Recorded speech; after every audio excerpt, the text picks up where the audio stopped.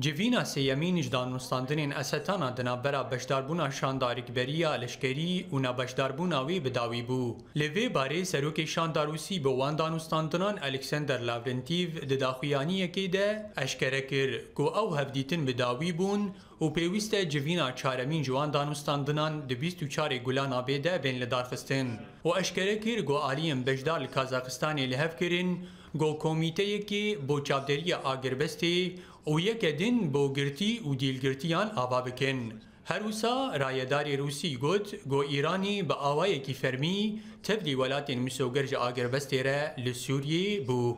Ji aliyekî din ve hin jêderên taybet ji civîna Esetana diyar kirin ku guman heye îro şandeke teknîkî yan berên leşkerî li gel nûnerên Rûsî, Îranî û Tirkî bicive.